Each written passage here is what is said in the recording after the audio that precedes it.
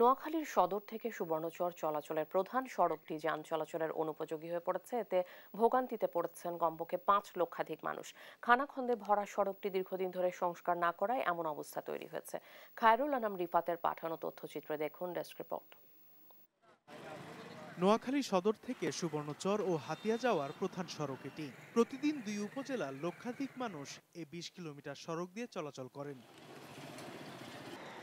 দীর্ঘদিন সংস্কারহীন সড়কটি খানাখন্দে এখন চলাচলের অনুপযোগী। তাই বাধ্য হয়ে অনেকে বিকল্প সড়ক ব্যবহার করছেন।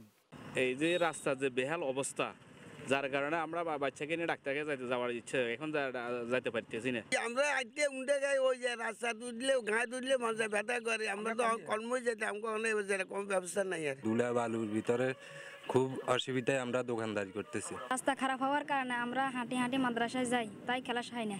সাধারণ পাবলিক আমরা টোটাল গাড়িতে উঠতেছে না। মানুষ দেখেন না হাঁটি যেতেছে গাড়িতে উঠতেছে না।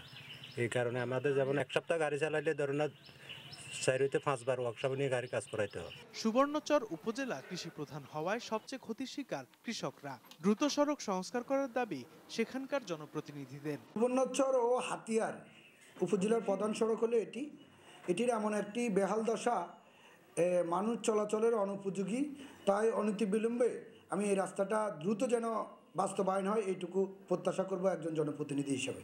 এ বিষয়ে সড়ক ও জনপথে উপবিভাগীয় প্রকৌশলী জানান সড়কটি মেরামতের জন্য মন্ত্রণালয়ে প্রস্তাব পাঠানো হয়েছে।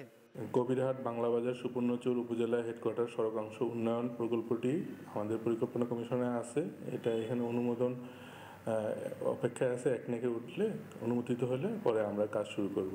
দ্রুত সড়কটি সংস্কার করে কর্তৃপক্ষ মানুষের দুর্ভোগ লাঘব করবে এমনটাই আশা স্থানীয়দের। News desk Desh TV.